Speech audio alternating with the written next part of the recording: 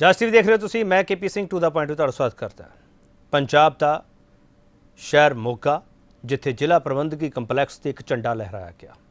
ਝੰਡਾ ਲਹਿਰਾਇਆ ਗਿਆ, ਪਰ ਉਸ ਦੇ ਬਦਲੇ ਤਿਰੰਗੇ ਦਾ ਅਪਮਾਨ ਕੀਤਾ ਗਿਆ। ਇਹ ਮੁੱਦਾ ਇੰਨਾ ਵੱਡਾ ਹੋ ਗਿਆ ਕਿ ਇਸ ਤੇ ਸੂਬੇ ਦੀ ਸਿਆਸਤ ਹੈ, ਉਹ ਇੱਕ ਦੂਜੇ ਤੋਂ ਸਵਾਲ ਜਵਾਬ ਕਰਨ ਲੱਗ ਪਈ, ਵਾਰ ਪਲਟਵਾਰ ਹੋਣੇ ਸ਼ੁਰੂ ਹੋ ਗਏ। ਇਹ ਸਭ ਦੇ ਵਿਚਾਲੇ ਐਸਐਫਜੇ ਦਾ ਜ਼ਿਕਰ ਹੋਣ ਲੱਗਿਆ ਤੇ ਐਸਐਫਜੇ ਤੇ ਨਾਮ ਤੇ ਜਿਹੜਾ ਇੱਕ ਪ੍ਰੋਪੇਗੈਂਡਾ ਕੀਤਾ ਜਾ ਰਿਹਾ, ਉਸ ਤੇ ਸਵਾਲ ਉੱਠਣ ਲੱਗਿਆ ਸਾਡਾ ਸਵਾਲ ਇੱਕੋ ਹੀ ਹੋਵੇਗਾ, ਤਿਰੰਗੇ ਦਾ ਅਪਮਾਨ ਖਾਲਿਸਤਾਨ ਤੇ ਕਿਉਂ ਕਮਸਾਨ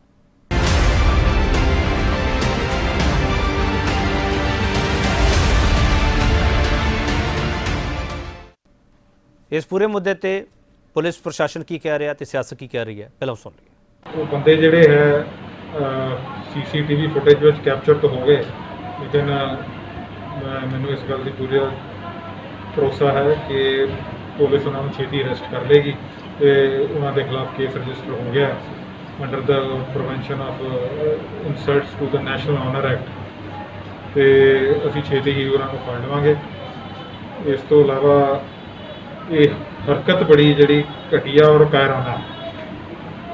ਸੋ ਇਹ ਜਿਹੜੇ ਅੱਜ ਕੱਲ੍ਹ ਚੱਲਣ ਡਿਆ ਵਾ ਪੰਨੋ ਪੰਨੂ ਵਾਲਾ, ਇਹਨੇ ਕਈ ਅਨਾਉਂਸਮੈਂਟਾਂ ਜਿਹੀਆਂ ਕੀਤੀਆਂ ਕਿਸੇ ਨੂੰ 250 ਡਾਲਰ ਕਿਸੇ ਨੂੰ 2500 ਡਾਲਰ, ਕਿਸੇ ਨੂੰ 1 ਲੱਖ 25000 ਡਾਲਰ। ਸੋ ਇਹ ਕਿਸੇ ਨੇ ਆ ਪੈਸਿਆਂ ਪੂਸਿਆਂ ਖਾਤਰ ਜਿਹੜਾ ਇਹਨੇ ਅਨਾਉਂਸਮੈਂਟਾਂ ਜਿਹੀਆਂ ਕੀਤੀਆਂ, ਉਸ ਚੱਕਰ ਦੇ ਵਿੱਚ 15 ਅਗਸਤ ਨੂੰ ਧਿਆਨ 'ਚ ਰੱਖਦੇ ਹੋਏ ਜਦੋਂ ਕਿ ਸਵੇਰੇ ਡਿਸਟ੍ਰਿਕਟ ਕੰਪਲੈਕਸ ਆ ਕੋਈ ਇੱਥੇ 25 ਤੋਂ 30 ਮਹਿਕਮੇ ਆ ਜਿਨ੍ਹਾਂ ਦੇ ਆਫਿਸਰਸ ਨੇ। ਔਰ ਹਜ਼ਾਰਾਂ ਦੀ ਤਾਦਾਦ ਦੇ ਵਿੱਚ ਲੋਕ ਆਪਣੇ ਸਰਕਾਰੀ ਕੰਮਾਂ ਕਾਰਾਂ ਵਾਸਤੇ ਉਸ ਕੰਪਲੈਕਸ 'ਚ ਆਉਂਦੇ ਰਹਿੰਦੇ ਆ। ਇਸ ਤਰ੍ਹਾਂ ਦੀ ਘਟਨਾਵਾਂ ਹੋਣ ਦੀ ਇੱਕ ਪਾਸੇ ਤੇ ਅਸੀਂ ਇਹ ਕਲੇਮ ਕਰਦੇ ਹਾਂ ਕਿ ਹਿੰਦੁਸਤਾਨ ਦੀ ਸਭ ਨਾਲੋਂ ਫਾਸਟ ਪੁਲਿਸਿੰਗ ਆ ਇੱਕ ਪਾਸੇ ਤੇ ਅਸੀਂ ਇਹ ਕਲੇਮ ਕਰ ਰਹੇ ਹਾਂ ਕਿ ਅਸੀਂ ਟੈਰਰਿਜ਼ਮ ਤੇ ਪੂਰੀ ਤਰ੍ਹਾਂ ਨਕੇਲ ਪਾਈ ਹੈ ਔਰ ਪੰਜਾਬ ਦੇ ਅੰਦਰ ਕੁਝ ਵੀ ਹੋਏ, ਸਾਨੂੰ ਪਹਿਲੇ ਪਤਾ ਲੱਗਦਾ ਹੈ।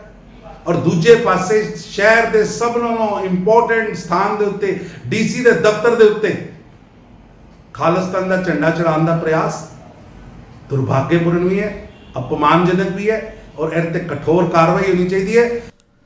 ਬੜਾ ਸਵਾਲ ਇੱਕੋ ਪੁੱਛਿਆ ਜਾਵੇਗਾ ਇਸ ਡਿਬੇਟ ਵਿੱਚ, ਇਹ ਸਵਾਲ ਪੁੱਛਾਂਗੇ ਕਿ ਤਿਰੰਗੇ ਦਾ ਅਪਮਾਨ ਕਰਨ ਵਾਲਾ ਪਿੱਛੇ ਕੌਣ ਹੈ? ਸਾਜ਼ਿਸ਼ ਕੀ ਹੈ? ਤੇ ਸਵਾਲ ਇਹ ਹੋਵੇਗਾ ਕਿ ਤਿਰੰਗੇ ਦਾ ਅਪਮਾਨ ਕਰਨਾ ਖਾਲਿਸਤਾਨ ਦੇ ਏਜੰਡੇ ਨੂੰ ਹਮਾਇਤ ਮਿਲ ਜਾਵੇਗੀ। ਇਹ ਬਹੁਤ ਅਹਿਮ ਸਵਾਲ ਹੈ ਤੇ ਇਸ ਸਵਾਲ ਤੇ ਅਸੀਂ ਬਹਿਸ ਕਰਾਂਗੇ। ਪੈਨਲ ਸਾਡਾ ਮੌਜੂਦ ਹੈਗਾ, ਉਹਨਾਂ ਤੁਹਾਡਾ ਤਾਰਫ ਕਰ ਰਿਹਾ। ਭਾਰਤੀ ਜਨਤਾ ਪਾਰਟੀ ਤੋਂ ਐਸਐਸ ਚੰਨੀ, ਸਾਬਕਾ ਆਈਐਸ ਨੇ, ਗੁਰਮਨੀਤ ਮੰਗਟ, ਕਾਂਗਰਸ ਤੋਂ ਨੇ ਤੇ professor Manjit Singh political analyst ਨੇ। ਤੇ ਮੈਂ ਉਹਨਾਂ ਦਾ ਬਹੁਤ ਸਵਾਗਤ ਕਰਦੇ ਹਾਂ, ਸਰ। ਪਹਿਲਾ ਸਵਾਲ ਸਿੱਧਾ ਚੰਨੀ ਸਾਹਿਬ, ਤੁਹਾਨੂੰ ਕਰਨਾ ਚਾਹੂੰਗਾ। ਚੰਨੀ ਸਾਹਿਬ ਜਦੋਂ ਇਹ ਮੁੱਦਾ ਖੜਾ ਹੁੰਦਾ ਤੇ ਤੁਸੀਂ ਖਾਲਿਸਤਾਨ ਦੇ ਮੁੱਦੇ ਨੂੰ ਇਸ ਤਰੀਕੇ ਨਾਲ ਪੇਸ਼ ਕਰਦੇ ਹੋ ਕਿ ਪਤਾ ਨਹੀਂ ਕੀ ਹੋ ਗਿਆ। ਚੰਨੀ ਸਾਹਿਬ, ਇਹ ਬਹੁਤ ਵੱਡਾ ਗੁਨਾਹ ਹੋ ਗਿਆ। ਪਹਿਲਾ ਸਵਾਲ। ਦੂਜਾ ਸਵਾਲ ਇਹ, ਸਰ, ਕਿ ਤੁਸੀਂ ਖੁਦ ਡਿਪਟੀ ਕਮਿਸ਼ਨਰ ਰਹੇ ਹੋ, ਉਸ ਦਫ਼ਤਰ ਦੇ ਉੱਪਰ ਜੇ ਕੋਈ ਝੰਡਾ ਇਦਾਂ ਤਿਰੰਗੇ ਦਾ ਅਪਮਾਨ ਕਰਦਾ ਤੇ ਦੂਜਾ ਝੰਡਾ ਉੱਥੇ ਲਹਿਰਾ ਦਿੱਤਾ ਜਾਂਦਾ ਤੇ ਉਸ ਪੂਰੇ ਮਾਮਲੇ 'ਚ ਕਾਰਵਾਈ ਕੀ ਹੋਣੀ ਚਾਹੀਦੀ ਹੈ, ਲਾਪਰਵਾਹੀ ਕਿੰਦੀ ਹੈ? ਚੰਨੀ ਸਾਹਿਬ, ਦੋ ਸਵਾਲ।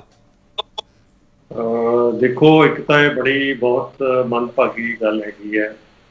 ਇੱਕ ਤਾਂ ਜਿਹੜਾ, ਜਿਹੜੇ ਸਾਡੇ ਝੰਡੇ ਨੇ, ਉਹਨਾਂ ਦੀ ਸੁਰੱਖਿਆ ਵਾਸਤੇ ਹਮੇਸ਼ਾ ਹੀ ਗਾਰਡ ਹੁੰਦੀ ਹੈ। ਔਰ ਉਹ ਝੰਡੇ ਗਾਰਡਡ ਰਹਿਣੇ ਚਾਹੀਦੇ ਨੇ ਔਰ ਹੁੰਦੇ ਨੇ। ਕਿਉਂਕਿ ਜਦੋਂ ਵੀ ਕਿਸੇ ਝੰਡੇ ਦਾ ਕੋਈ ਅਪਮਾਨ ਕਰਦਾ ਹੈ, ਉਹਨੂੰ ਸਜ਼ਾ ਤਾਂ ਵੱਖਰੀ ਮਿਲ- ਮਿਲਣੀ ਮਿਲਣੀ ਹੈ। ਪਰ ਜਿਹੜਾ ਜਿਹੜੀ ਉਹਦੀ ਰਾਖੀ ਕਰਨੀ ਹੈ, ਉਹਨੂੰ ਸਨਮਾਨ ਕਰਨਾ ਹੈ, ਉਹ ਲੋਕਲ ਐਡਮਿਨਿਸਟ੍ਰੇਸ਼ਨ ਦੀ ਜਿਹੜੀ ਹੈਗੀ ਹੈ, ਜ਼ਿੰਮੇਵਾਰੀ ਹੈ।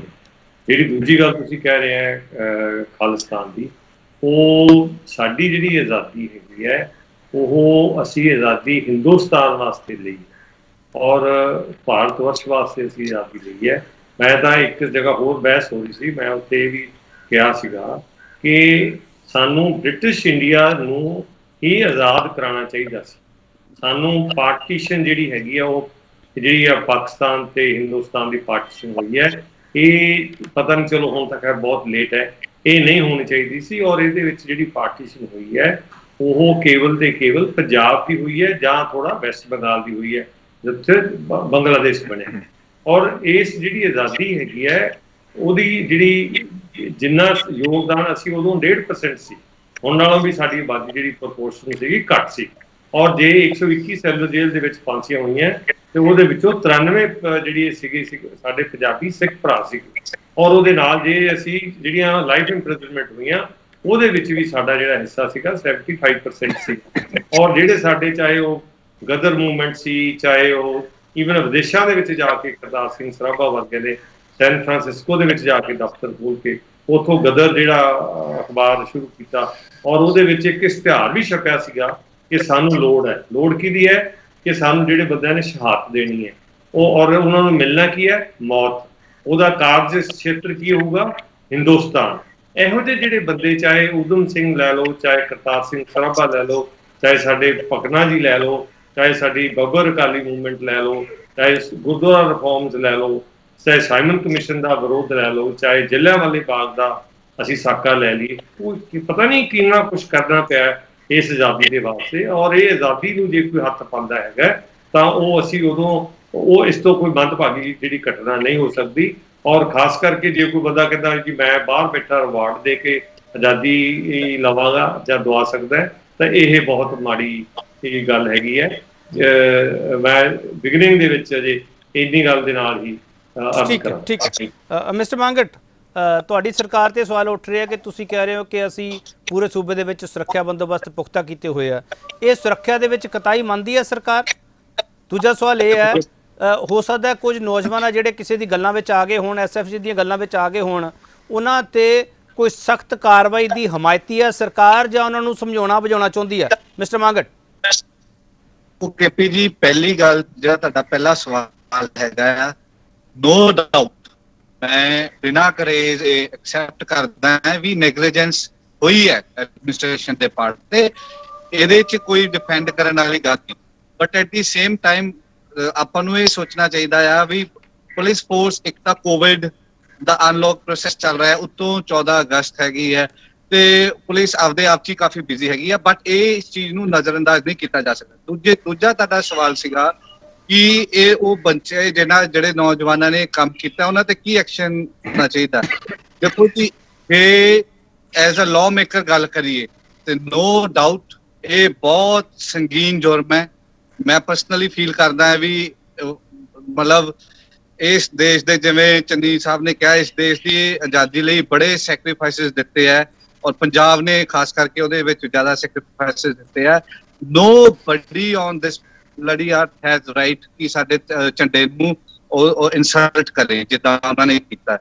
ਪਰ ਐਟ ਦੀ ਸੇਮ ਟਾਈਮ ਦੇਖੋ ਜੇ ਉਹਨਾਂ ਦੀ ਉਮਰ ਬਹੁਤ ਛੋਟੀ ਹੈਗੀ ਹੈ ਤੇ ਉਹ ਲਾਅ ਨੇ ਡਿਸਾਈਡ ਕਰਨਾ ਆ ਕਾਨੂੰਨ ਦੀਆਂ ਧਾਰਾ ਹੈਗੀਆਂ ਡਿਫਰੈਂਟ ਉਹ ਕੋਰਟ ਡਿਸਾਈਡ ਕਰੇਗਾ ਵੀ ਉਹਨਾਂ ਦੇ ਤੇ ਕੀ ਐਕਸ਼ਨ ਲੈਣਾ ਹੈ।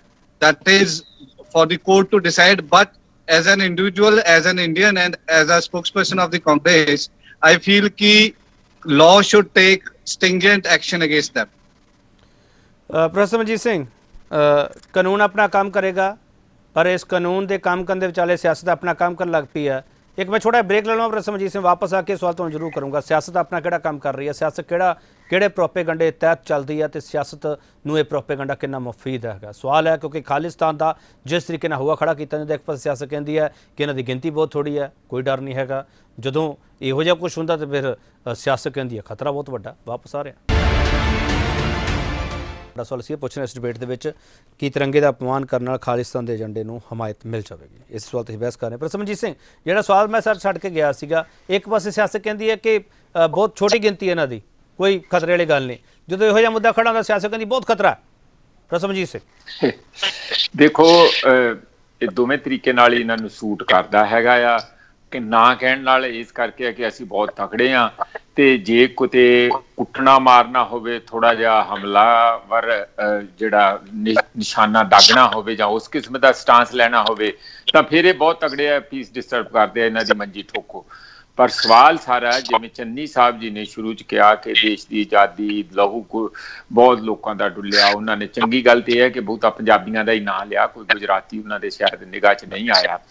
ਤਾਂ ਇੱਕ ਗਾਂਧੀ ਜੀ ਜ਼ਰੂਰ ਸੀਗੇ, ਜਿਹੜੇ ਗੁਜਰਾਤੀ ਸੀ, ਉਹ ਉਹਨਾਂ ਦੀ ਜਿਹੜੀ ਸ਼ਾਂਤੀ ਦਾ ਪੱਥ ਸੀਗਾ। ਬਾਕੀ ਜਿਹੜੀਆਂ ਕੁਰਬਾਨੀਆਂ ਦਾ ਸੀ, ਗਦਰਾਈਟਾਂ ਦਾ, ਹੋਰ ਸਾਰਿਆਂ ਦਾ, ਉਹ ਸਾਰੇ ਦਾ ਸਾਰਾ ਭਾਵੇਂ ਬੱਬਰ ਕਾਲੀ ਸੀਗੇ, ਉਹ ਇੱਕ ਮਿਲੀਟੈਂਟ ਇੱਕ ਲੈਗੇਸੀ ਦਾ ਹਿੱਸਾ ਹੀ ਸੀਗਾ।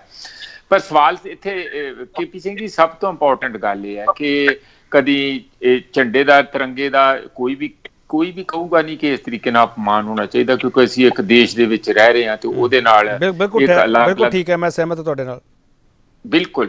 ਪਰ ਸਵਾਲ ਇਹ ਹੈ ਕਿ ਕਿਉਂ ਇੰਜ ਹੁੰਦਾ ਆ? ਕਦੀ ਆਪਾਂ ਉਹ ਆਰਗੇਨਾਈਜੇਸ਼ਨਾਂ ਨੂੰ ਅਸੀਂ ਟੈਰਰਿਸਟ ਕਰਾਰ ਦਿੰਦੇ ਆ ਕਦੀ ਬੰਦਿਆਂ ਨੂੰ ਕਰਾਰ ਦਿੰਦੇ ਆ ਕਦੀ ਅਸੀਂ ਇੱਥੇ ਯੂਏਪੀਏ ਬੰਦਿਆਂ ਤੇ ਲਾਉਂਦੇ ਆ 16 ਬੰਦਿਆਂ ਤੇ ਸਰ ਲਾਉਂਦੇ ਮੇਰਾ ਆ ਸਵਾਲ ਇਹ ਹੈ ਪ੍ਰਸਮਜੀਤ ਸਿੰਘ ਪ੍ਰਸਮਜੀਤ ਸਿੰਘ ਮੇਰਾ। ਸਵਾਲ ਇਹੀ ਹੈ ਹੁਣ ਫਿਰ ਯੂਏਪੀਏ ਦਾ ਰੋਲਾ ਪਊਗਾ ਇਸ ਤੋਂ ਬਾਅਦ? ਬਿਲ ਪੈਣਾ ਹੀ ਆਏ ਹੋਰ ਕਾਦੇ ਲਈ ਮਸਾਲਾ ਇਕੱਠਾ ਹੋਇਆ? ਇਹ ਤੇ ਬੇਵਕੂਫੀ ਉਹਨਾਂ ਬੰਦਿਆਂ ਦੀ ਹੈ ਜਿਹੜੇ ਬਾਹਰ ਬੈਠੇ ਹੋਏ ਆ।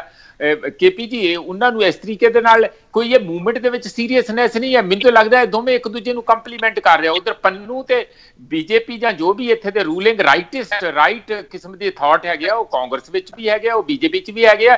ਇਹ ਦੋਵੇਂ ਇੱਕ ਦੂਜੇ ਦੀ ਮਦਦ ਕਰ ਰਹੇ ਆ ਔਰ ਆਮ ਬੰਦੇ ਨੂੰ ਕੁੱਟ ਕਟਾਈ ਪਾ ਛੱਡੂਗਾ। ਜਿਹੜੀ ਕੋਈ ਦੂਜੀ ਮੂਵਮੈਂਟ ਹੁੰਦੀ ਆ, ਜਿਹੜੀ ਕੋਈ ਸਹੀ ਮਾਨਿਆਂ ਦੇ ਵਿੱਚ ਸਿੱਖ ਅਧਿਕਾਰਾਂ ਦੀ, ਪੰਜਾਬੀਆਂ ਦੇ ਅਧਿਕਾਰਾਂ ਦੀ, ਘੱਟ ਗਿਣਤੀਆਂ ਦੇ ਅਧਿਕਾਰਾਂ ਦੀ, ਜਾਂ ਹੋਰ ਜਿਸ ਤਰ੍ਹਾਂ ਸੀਏ ਦੀ ਮੂਵਮੈਂਟ ਉਹਨਾਂ ਸਾਰਿਆਂ ਦੀ ਮੰਜੀ ਠੋਕਣ ਲਈ ਜਾਂ ਉਹਨਾਂ ਦਾ ਫੱਟੀ ਪੋਛਣ ਲਈ ਇਸ ਕਿਸਮ ਦੇ ਨਵੇਂ ਤੋਂ ਨਵੇਂ ਇਸ਼ੂ ਆ ਜਾਂਦੇ ਆ, ਜਿਹੜੇ ਸਰਕਾਰ ਲਈ ਬੜੇ ਹੈਂਡੀ ਹੁੰਦੇ ਆ ਔਰ ਆਮ ਜਿਹੜੇ ਬੰਦੇ ਆ, ਉਹ ਇਸ ਦੇ ਵਿੱਚ ਦਰੜੇ ਜਾਣਗੇ, ਉਹ ਮੁੰਡੇ ਵੀ ਫੜੇ ਜਾਣਗੇ ਤੇ ਮੈਨੂੰ ਲੱਗਦਾ ਆ ਕਿ ਇੱਕ ਤੇ ਉਹ ਜਿਹੜਾ ਬਾਹਰ ਦੇ ਲੈਵਲ 'ਤੇ ਉੱਤੇ ਵੀ ਜੇ ਉਹ ਬੰਦੇ ਗੱਲਾਂ ਕਰਦੇ, ਪੰਨੂ ਹੁਣੀ, ਉਹਨਾਂ ਦਾ ਕੋਈ ਨਾ ਕੋਈ ਇਲਾਜ ਉਸ ਲੈਵਲ ਤੇ ਕੱਢਣਾ ਚਾਹੀਦਾ। ਅੱਜ ਕੱਲ੍ਹ ਸੋਸ਼ਲ ਮੀਡੀਆ ਤੇ ਰੋਕਣਾ ਤੇ ਬਹੁਤ ਔਖਾ ਆ, ਕੋਈ ਪ੍ਰਿੰਟਡ ਮੀਡੀਆ 'ਚ ਨਹੀਂ ਆਉਂਦਾ ਸੋਸ਼ਲ ਮੀਡੀਆ ਤੇ ਫਟ ਗੱਲ ਆ ਜਾਂਦੀ ਆ।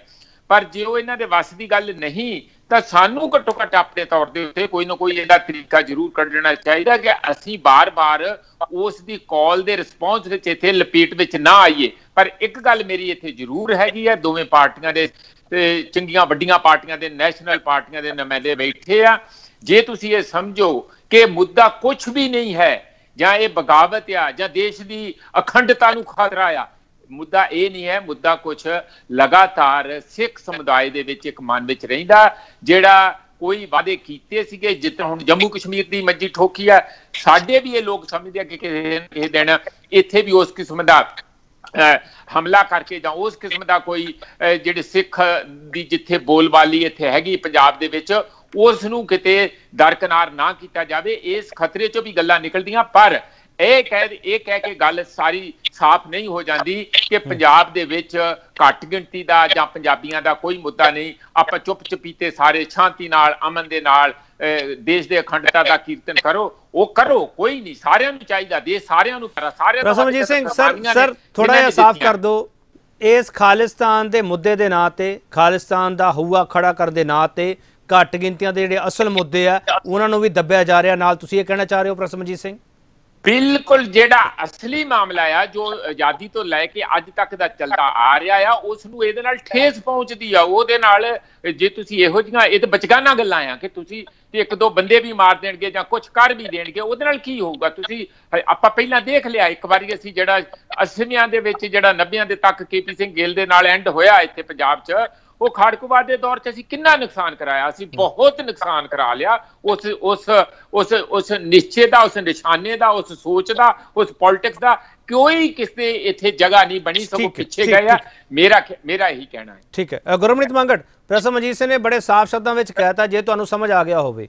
ਮੈਨੂੰ ਇਹ ਸਮਝ ਆ ਰਿਹਾ ਕਿ ਪ੍ਰਸਮਜੀਤ ਸਿੰਘ ਕਹਿਣਾ ਚਾਹ ਰਿਹਾ ਹੈ ਕਿ ਜੇ ਦੇਸ਼ ਦੀ ਸਭ ਤੋਂ ਵੱਡੀ ਪਾਰਟੀ ਜਿਨ੍ਹਾਂ ਦੀ ਸਰਕਾਰ ਹੈ, ਉਸ ਦੇ ਨਾਲ ਜਿਹੜੀ ਸੂਬੇ ਵਿੱਚ ਸਰਕਾਰ ਚੱਲਦੀ ਪਈ ਹੈ, ਉਹ ਤਾਲ ਨਾਲ ਤਾਲ ਇਸ ਮੁੱਦੇ ਤੇ ਮਿਲਾਉਂਦੀ ਹੈ ਤੇ ਜਿਹੜੇ ਘੱਟ ਗਿਣਤੀਆਂ ਦੇ ਮੁੱਦੇ ਆ ਉਸ ਨੂੰ ਦਬਾਉਣ ਵਿੱਚ ਤੁਸੀਂ ਵੀ ਸ਼ਾਮਲ ਹੋ। ਗੁਰਮ੍ਰਿਤ ਮੰਗਟ। ਕੇਪੀ ਜੀ ਮੈਨੂੰ ਨਹੀਂ ਲੱਗਦਾ ਵੀ ਕਿ ਪ੍ਰੋਫੈਸਰ ਸਾਹਿਬ ਦਾ ਇਸ਼ਾਰਾ ਸਾਡੇ ਵੱਲ ਵੀ ਸੀਗਾ। ਹਾਂ ਕੁਝ ਬੰਦੇ ਕੁਝ ਐਲੀਮੈਂਟ ਹੋ ਸਕਦੇ ਆ ਜਿਹੜੇ ਰਾਈਟ ਆਈਡੀਓਲੋਜੀ ਵੱਲ ਲੀਨਡ ਹੋਏ ਸਾਡੀ ਪਾਰਟੀ ਵਿੱਚ ਪਰ ਉਹਨਾਂ ਦੀ ਸੇ ਨਹੀਂ ਹੈਗੀ। ਮਿਸਟਰ ਬਿੱਟੂ ਕਹਿ ਰਿਹਾ ਮਿਸਟਰ ਬਿੱਟੂ ਕਹਿ ਰਿਹਾ ਇਹਨਾਂ ਦੇ ਉੱਤੇ ਗਦਾਰ ਸ਼ਬਦ ਕਰੇਦ ਦੇਣਾ ਚਾਹੀਦਾ ਇਹਨਾਂ ਦੇ ਮੱਥਿਆਂ ਤੇ। ਤੁਸੀਂ ਇਤਫਾਕ ਰੱਖਦੇ ਹੋ ਨਾਲ?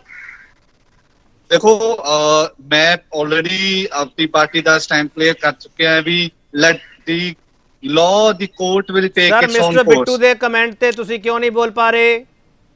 ਮੰਗੜ ਕੇਪੀ ਸਾਹਿਬ। ਜੀ ਉਹਨਾਂ ਨੇ ਕੇਪੀ ਜੀ ਉਹਨਾਂ ਨੇ ਆਪਦੇ ਵਿਊਜ਼ ਰੱਖੇ ਹੈਗੇ ਆ। ਪਾਰਟੀ ਦਾ ਵਿਊ ਹੈ ਇਸ ਮੁੱਦੇ ਤੇ ਤੁਸੀਂ ਮਿਸਟਰ ਨੂੰ- ਬਿੱਟੂ ਤੋਂ ਪਾਸੇ ਕਿਉਂ ਹੋ ਜਾਂਦੇ ਹੋ? ਪਾਰਟੀ ਪਾਸੇ ਕਿਉਂ ਜਾਂਦੀ ਹੈ। ਮਿਸਟਰ ਬਿੱਟੂ ਦੀ ਪੋਲਿਟਿਕਸ ਵੱਖਰੀ ਹੈ। ਉਹ ਆਪਦਾ ਆਪਦੀ ਵੋਟ ਵੋਟ ਬੈਂਕ ਸੈੱਟ ਕਰਦੇ ਆ ਉਹ। ਜਾਂ ਉਹਨਾਂ ਦੇ ਪਰਿਵਾਰ ਦਾ ਮਸਲਾ ਇੱਕ ਵੱਖਰਾ ਹੈ ਜਿਹਦੇ ਕਰਕੇ ਕਾਂਗਰਸ ਪਾਰਟੀ ਕਿਨਾਰਾ ਕਰ ਲੈਂਦੀ ਹੈ।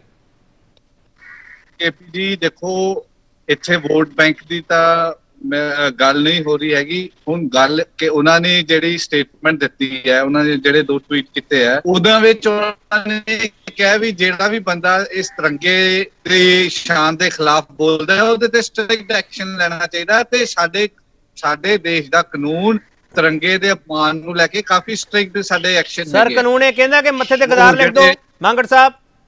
ਨਹੀਂ ਨਹੀਂ ਨਹੀਂ ਨਹੀਂ ਨਹੀਂ ਨਹੀਂ ਹਾਂ ਤੇ ਬਿਲਕੁਲ ਫਿਰ ਨਹੀਂ ਕਹਿੰਦਾ ਸਰ ਜੀ। ਮੋਗੇ ਤੋਂ ਲੁਧਿਆਣਾ ਬਾਲਾ ਦੂਰ ਨਹੀਂ ਹੈਗਾ। ਮੰਗੜ ਸਾਹਿਬ ਜੇ ਕਦੇ ਤੁਸੀਂ ਉਸ ਰਸਤੇ ਚੜੇ ਹੋ ਤਾਂ। ਬਿਲਕੁਲ ਚੜਿਆ ਹੋਇਆ ਹੈ ਜੀ 60 ਕਿਲੋਮੀਟਰ ਹੈ but the thing is we ਜਿਹੜਾ ਇਹ ਇਨਸੀਡੈਂਟ ਹੋਇਆ ਹੈਗਾ ਆ ਇਹਨ- ਇਹਨੂੰ ਇਨਵੈਸਟੀਗੇਟ ਕਰਕੇ ਇਹਦੇ ਪਿੱਛੇ ਹੈਂਡਲਰਸ ਕੌਣ ਹੈਗੇ ਆ ਉੱਥੇ ਉੱਥੇ ਤੱਕ ਆਪਾਂ ਨੂੰ ਜਾਣ ਦੀ ਲੋੜ ਹੈ ਠੀਕ ਹੈ ਠੀਕ ਹੈ ਮਿਸਟਰ ਮੰਗੜ। ਠੀਕ ਹੈ ਠੀਕ ਹੈ। ਚੰਨੀ ਸਾਹਿਬ ਚੰਨੀ ਸਾਹਿਬ ਅਸੀਂ ਉਹਨਾਂ ਨੌਜਵਾਨਾਂ ਦੇ ਹੱਕ ਵਿੱਚ ਨਹੀਂ ਕਿ ਜਿਨ੍ਹਾਂ ਨੇ ਉੱਥੇ ਅ, ਤਿਰੰਗੇ ਦਾ ਅਪਮਾਨ ਕੀਤਾ। ਹੈ। ਪਰ ਸਰ, ਸਵਾਲ ਇਹ ਹੈਗਾ ਕਿ ਸਿਆਸਤ ਜਿਸ ਤਰੀਕੇ ਨਾਲ ਕੰਮ ਕਰਦੀ ਪਈ ਹੈ, ਸਿਆਸਤ ਨੂੰ ਸਰ, ਨੈਟਵਰਕ ਦੇ ਪਿੱਛੇ ਜਿਹੜੀ ਸੋਚ ਹੈਗੀ ਆ ਉਸ ਨੂੰ ਫੜਨ ਦੀ ਜ਼ਰੂਰਤ ਹੈ ਸਰ। ਇਹ ਤਾਂ ਇੱਥੇ ਜਿਹੜਾ ਸਵਾਲ ਆ ਰਿਹਾ, ਮੇਰੇ ਸਾਹਮਣੇ ਉਹ ਸਵਾਲ ਇਹ ਆ ਰਿਹਾ ਕਿ ਤੁਸੀਂ ਇੱਕ ਦੂਜੇ ਨੂੰ ਜੋ ਸੂਟ ਕਰਦਾ, ਉਸ ਤਰੀਕੇ ਨਾਲ ਚੱਲਦੇ ਹੋ। ਨਹੀਂ, ਇਸ ਤਰ੍ਹਾਂ ਦੀ ਕੋਈ ਗੱਲ ਨਹੀਂ ਹੈਗੀ। ਇੱਕ ਤਾਂ ਮੈਂ ਵੀ ਕਹਾਂਗਾ ਕਿ ਜਿਹੜਾ ਰਵਨੀਤ ਬਿੱਟੂ ਜੀ ਦਾ ਟਵੀਟ ਆਇਆ ਹੈਗਾ, ਉਹਨਾਂ ਨੂੰ ਇਹ ਕੋਈ ਅਥਾਰਟੀ ਨਹੀਂ ਹੈਗੀ ਕਿ ਉਹਨਾਂ ਦੇ ਮੱਥੇ ਤੇ ਗਦ- ਗਦਾਰ ਦਾ ਜਿਹੜਾ ਸ਼ਬਦ ਹੈ ਉਹ ਲਿਖਿਆ ਜਾਵੇ ਜੇ ਕਿਸੇ ਕੋਈ ਵੀ ਬੰਦਾ ਆਫੈਂਸ ਕਰਦਾ ਹੈ under the Indian constitution Indian law ਉਹ law takes its own course ਉਹਦੀ ਸਜ਼ਾ ਹੈਗੀ ਹੈ ਇੰਡੀਅਨ ਫਲੈਗ ਐਕਟ ਹੈਗਾ। ਉਹਦੇ ਥੱਲੇ ਉਹਨਾਂ ਨੂੰ ਜਿਹੜੀ ਬਣਦੀ ਸਜ਼ਾ ਉਹ ਮਿਲੇਗੀ ਜ਼ਰੂਰ। ਜਿੱਥੋਂ ਤੱਕ ਪ੍ਰੋਫੈਸਰ ਸਾਹਿਬ ਕਹਿ ਰਹੇ ਨੇ ਕਿ ਸ਼ਾਇਦ ਹੁਣ ਹਿੰਦੁਸਤਾਨ ਦੇ ਵਿੱਚ ਸਾਡੇ ਦੇਸ਼ ਦੇ ਵਿੱਚ ਮਾਈਨੋਰਿਟੀ ਨੂੰ ਦਬਾਇਆ ਜਾਣ ਦੀ ਕੋਈ ਕੋਸ਼ਿਸ਼ ਹੋ ਰਹੀ ਹੈ ਜਾਂ ਹੋਰ ਹੋ ਰਹੀ ਹੈ ਮੈਂ ਇਸ ਵਿਸ਼ੇ ਤੇ ਜ਼ਰੂਰ ਗੱਲ ਕਰਨੀ ਚਾਹਾਂਗਾ। ਕਿ ਜਦੋਂ ਅਸੀਂ ਪਾਕਿਸਤਾਨ ਵੀ ਬਣਵਾ ਲਿਆ ਔਰ ਉਹਦੇ ਨਾਲੋਂ ਸਾਡੇ ਕੋਲ 2.5 3 ਗੁਣਾ ਜਿਹੜੇ ਮੁਸਲਮ ਭਰਾ ਸਾਡੇ ਅਜੇ ਹਿੰਦੁਸਤਾਨ ਦੇ ਵਿੱਚ ਹੈਗੇ ਨੇ, ਸਾਨੂੰ ਉਹਦੇ ਨਾਲ ਕੀ ਅਸੀਂ ਖੱਟਿਆ ਹੈਗਾ? ਜਿਹੜੀ ਜਿਹੜੀ ਕਿਸੇ ਦੀ ਇਹ ਸੋਚ ਸੀ ਉਸ ਵੇਲੇ। ਮੈਂ ਤਾਂ ਸੌਡੀ ਸੋਚ ਕਹਾਂਗਾ ਕਿ ਪਾਕਿਸਤਾਨ ਬਣਵਾਉਣਾ ਜਾਂ ਵੰਡ ਦੇਣਾ ਹੀ ਗਲਤ ਸੀ, ਜੇ ਇੰਨੇ ਮੁਸਲਮ ਸਾਡੇ ਵਿੱਚ ਸਾਰੀਆਂ ਸਾਰੇ ਹਿੰਦੁਸਤਾਨ ਦੇ ਵਿੱਚ ਬੈਠੇ ਨੇ, ਤੇ ਫਿਰ ਇੱਕ ਖਿੱਤਾ ਅਸੀਂ ਦੇ ਕੇ ਉਹ ਕੀ ਅਸੀਂ ਚੰਗਾ ਕੰਮ ਕੀਤਾ? ਔਰ ਉਹਦੇ ਵਿੱਚ ਵੀ ਜੇ ਮਾਸਟਰ ਤਾਰਾ ਸਿੰਘ ਲਾਹੌਰ ਅਸੈਂਬਲੀ ਦੇ ਵਿੱਚ ਜਾ ਕੇ ਝੰਡਾ ਨਾ ਫਾੜਦੇ, ਤੇ ਜਿਹੜਾ ਸਾਡਾ ਪਾਕਿਸਤਾਨ ਹੈਗਾ, ਇਹ ਯਮਨਾ ਨਦੀ ਤੱਕ ਜਾਣਾ ਸੀਗਾ ਔਰ ਅਸੀਂ 10 ਲੱਖ ਬੰਦਾ ਕਤਲ ਕਰਵਾ ਲਿਆ ਉਸ ਚੱਕਰ ਦੇ ਵਿੱਚ। ਤੇ ਜਿੱਦਾਂ ਜਿਸ ਤਰ੍ਹਾਂ ਪ੍ਰੋਫੈਸਰ ਸਾਹਿਬ ਦੱਸ ਰਹੇ ਸੀਗੇ ਕਿ ਅਸੀਂ ਜਿਹੜਾ ਮਾੜਾ ਦੌਰ ਦੇਖਿਆ ਹੈਗਾ, ਅੱਤਵਾਦ ਦਾ ਇਟਸ ਲੇਟ 70s 80s ਦੇ ਦੇ 80s ਦੇ 90s ਅਰਲੀ ਦੇ ਵਿੱਚ, ਉਹ ਵੀ ਅਸੀਂ ਨਹੀਂ ਦੇਖਣਾ ਚਾਹੁੰਦੇ ਦੁਬਾਰਾ। ਔਰ ਖਾਸ ਕਰਕੇ ਜਿਹੀਆਂ ਜਥੇਬੰਦੀਆਂ ਜਿਹੜੀਆਂ ਇੰਟਰਨੈਸ਼ਨਲੀ ਬੈਨ ਹੋ ਚੁੱਕੀਆਂ ਨੇ ਔਰ ਉਹ ਚੰਨੀ ਸਾਹਿਬ ਸਾਡਾ ਸਵਾਲ ਹੀ ਹੈ ਸਰ ਤੁਸੀਂ ਜੜ ਤੱਕ ਨਹੀਂ ਪਹੁੰਚ ਰਹੇ ਸਰ। ਜੜ ਨੂੰ ਤਾਂ ਸਿਰਫ ਤੁਸੀਂ ਬੈਨ ਕਰਦੇ ਹੋ ਤੇ ਕਹਿੰਦੇ ਆ ਕਿ ਇਹ ਦਹਿਸ਼ਤਗਰਦੀ ਹੈ ਇਹ ਇਹਨਾਂ ਨੂੰ ਬੈਨ ਕਰੋ। ਸਰ ਉਹਨਾਂ ਦੇ ਖਿਲਾਫ ਕਾਰਵਾਈ ਕੀ ਹੈ ਸਵਾਲ ਤਾਂ ਇਹ ਹੈ। ਦੇਖੋ ਜਿਹੜੇ ਬੰਦੇ ਇਸ ਮੁਲਕ ਦੇ ਵਿੱਚ ਨਹੀਂ ਹੈਗੇ ਔਰ ਉਹਨਾਂ ਨੂੰ ਉਹਨਾਂ ਦੀ ਸੰਸਥਾ ਨੂੰ ਬੈਨ ਹੀ ਅਸੀਂ ਇਹ ਕਰ ਸਕਦੇ ਹਾਂ। ਅਸੀਂ ਵੀ ਡੋਨਟ ਹੈਵ ਸਰ ਤੁਹਾਡੀ ਸਰਕਾਰ ਤਾਂ ਕਹਿੰਦੀ ਸੀ ਅਸੀਂ ਉਹਨੂੰ ਫੜ ਲਿਆਵਾਂਗੇ ਅਸੀਂ ਉਹਨੂੰ ਫੜ ਲਿਆਵਾਂਗੇ ਉਹਨੂੰ ਪੇਸ਼ ਕਰ ਦਾਂਗੇ ਉਹਨੂੰ ਪੇਸ਼ ਕਰ ਦਾਂਗੇ। ਨੋਵਲ ਟੇਕਸ ਓਨ ਕੋਰਸ ਉਹਦੇ ਐਕਸਟ੍ਰੈਡੀਸ਼ਨ ਹੋਏਗੀ ਸਾਰਾ ਕੁਝ ਸਾਰਾ ਕੁਝ ਹੋਏਗਾ ਉਹ ਨਹੀਂ ਹੈਗਾ। ਪਰ ਉਹ ਇਹ ਚੀਜ਼ਾਂ ਜਿਹੜੀਆਂ ਹੈਗੀਆਂ ਟਾਈਮ ਲੈਂਦੀਆਂ ਨੇ ਉਹਦੇ ਨਾਲ ਕਿਉਂਕਿ ਆ ਹੁਣ ਆਪਣੇ ਜਿਹੜੇ ਪਿਛਲੇ ਜਿਹੜੇ ਗਦਾਰ ਭੱਜੇ ਹੋਏ ਨੇ ਉਹ ਵੀ ਸਾਡੇ ਅਜੇ ਕਾਬੂ ਆ ਰਹੇ ਜਿਹੜੇ ਤੋਂ ਚਲੋ ਮੈਂ ਇੱਕ ਹੋਰ ਛੋਟਾ ਬ੍ਰੇਕ ਲੈਣਾ ਸਰ ਚਲੀ ਸਾਹਿਬ ਇੱਕ ਛੋਟਾ ਬ੍ਰੇਕ ਲੈਣਾ ਬ੍ਰੇਕ ਤੋਂ ਵਾਪਸ ਆ ਰਹੇ ਹਾਂ। ਖਾਲਿਸਤਾਨ ਲਈ ਡਰਨ ਵਾਲਾ ਲਾਲਚ ਕਿਉਂ ਦਿੱਤਾ ਜਾ ਰਿਹਾ? ਇਸ ਲਾਲਚ ਦੇ ਨਾਂ ਤੇ ਪੰਜਾਬ ਦੀ ਜਵਾਨੀ ਨੂੰ ਕੁਰਾਹੇ ਪਾਉਣ ਦੀ ਕੋਸ਼ਿਸ਼ ਕੀਤੀ ਜਾ ਰਹੀ ਹੈ। ਸਵਾਲ ਇਹ ਵੀ ਆਪਣੇ ਆਪ ਵਿੱਚ ਵੱਡਾ ਹੈਗਾ ਤੇ ਜਦੋਂ ਲਾਲ ਕਿਲੇ ਤੇ ਤਿਰੰਗਾ ਲਹਿਰਾਉਣ ਦੀ ਬਜਾਏ ਖਾਲਿਸਤਾਨ ਦਾ ਝੰਡਾ ਲਹਿਰਾਉਣ ਵਾਲਾ ਮੁੱਦਾ ਖੜਾ ਹੋ ਜਾਵੇ ਤੇ ਫਿਰ ਸਿਆਸਤ ਕੀ ਕਹਿੰਦੀ ਹੈਗੀ ਆ? ਉਦੋਂ ਕਹਿੰਦੇ ਆ ਕਿ ਅਸੀਂ ਲਾਠ ਚਾਰੀ ਕਰ ਦਿੱਤਾ, ਸਖਤ ਸੁਰੱਖਿਆ ਬੰਦੋਬਸਤ ਕਰ ਦਿੱਤੇ। ਕਹਿੰਦਾ ਮਤਲਬ ਕੀ ਹੁੰਦਾ? ਵਾਪਸ ਆ ਰਹੇ। ਵੱਡਾ ਸਵਾਲ ਅਸੀਂ ਇਹ ਪੁੱਛ ਰਹੇ ਹਾਂ ਕਿ ਕੀ ਤਿਰੰਗੇ ਦਾ ਅਪਮਾਨ ਕਰਨਾ ਖਾਲਿਸਤਾਨ ਦੇ ਏਜੰਡੇ ਨੂੰ ਹਮਾਇਤ ਮਿਲ ਜਾਵੇਗੀ? ਪ੍ਰੋਫੈਸਰ ਮਨਜੀਤ ਸਿੰਘ, ਸਰ, ਮੇਰਾ ਸਵਾਲ ਬੜੇ ਧਿਆਨ ਨਾਲ ਸੁਣ ਲਿਓ। ਇੱਕ ਤਾਂ ਜਿਹੜਾ ਡਾਲਰਾਂ ਵਾਲਾ ਲਾਲਚ ਦਿੱਤਾ ਜਾ ਰਿਹਾ ਪੰਜਾਬ ਹਰਿਆਣਾ ਦੇ ਨੌਜਵਾਨਾਂ ਨੂੰ ਇੱਕ ਪਾਸੇ ਕਿਹਾ ਜਾ ਰਿਹਾ ਕਿ ਲਾਲ ਕਿਲੇ ਜਿਹੜਾ ਝੰਡਾ ਜਾ ਕੇ ਲਹਿਰਾਊਗਾ ਉਹਨੂੰ ਇੰਨੇ ਡਾਲਰ ਦਿੱਤੇ ਜਾਣਗੇ। ਇੱਕ ਪਾਸੇ ਉਹ ਆਰਗੂਮੈਂਟ ਇਹ ਕੀਤਾ ਜਾ ਰਿਹਾ ਹੈ ਕਿ ਮਿਸਟਰ ਪੰਨੂ ਤੂੰ ਖੁਦ ਆਇਆ ਲਾਲ ਕਿਲੇ ਝੰਡਾ ਲਹਿਰਾ ਰਾ ਅਸੀਂ ਤੇਰੀ ਟਿਕਟ ਦੇ ਪੈਸੇ ਵੀ ਖਰਚਣ ਨੂੰ ਤਿਆਰ ਹੈ ਤੂੰ ਇੰਡੀਆ ਆ ਕੇ ਆਪ ਝੰਡਾ ਲਹਿਰਾ। ਪ੍ਰੋਫੈਸਰ ਮਨਜੀਤ ਸਿੰਘ ਸਾਰੇ ਡਾਲਰਾਂ ਦੀ ਡਾਲਰਾਂ ਦੇ ਲਾਲਚ ਦੇ ਵਿਚਾਲੇ ਨੌਜਵਾਨ ਕੁਰਾਹੇ ਪਾਉਣ ਦੀ ਕੋਸ਼ਿਸ਼ ਕੀਤੀ ਜਾ ਰਹੀ ਪ੍ਰੋਫੈਸਰ ਮਨਜੀਤ ਸਿੰਘ। ਇਹ ਡਾਲਰਾਂ ਵਾਲੀ ਸਾਜ਼ਿਸ਼ ਹੈ ਜਿਹੜੀ ਡਾਲਰਾਂ ਵਾਲੀ ਸਾਜ਼ਿਸ਼ ਹੈ, ਉਸ ਪੂਰੇ ਮਾਮਲੇ ਸਰਕਾਰ ਕੀ ਕਰ ਰਹੀ ਹੈ ਪ੍ਰੋਫੈਸਰ ਸਿੰਘ?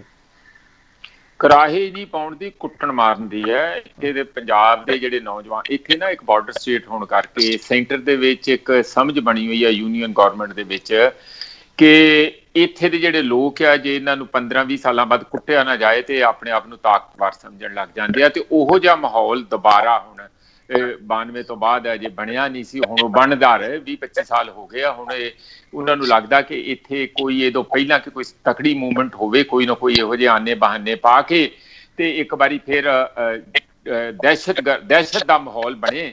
ਤਾਂ ਕਿ ਜਿਹੜੇ ਜਿਹੜਾ ਵੀ ਕੋਈ ਇੱਥੇ ਇਸ ਤਰੀਕੇ ਨਾਲ ਸੋਚਦਾ ਵੀ ਹੈ ਥੋੜਾ ਬਹੁਤ, ਉਹ ਸੋਚਣਾ ਬੰਦ ਕਰ ਦੇ।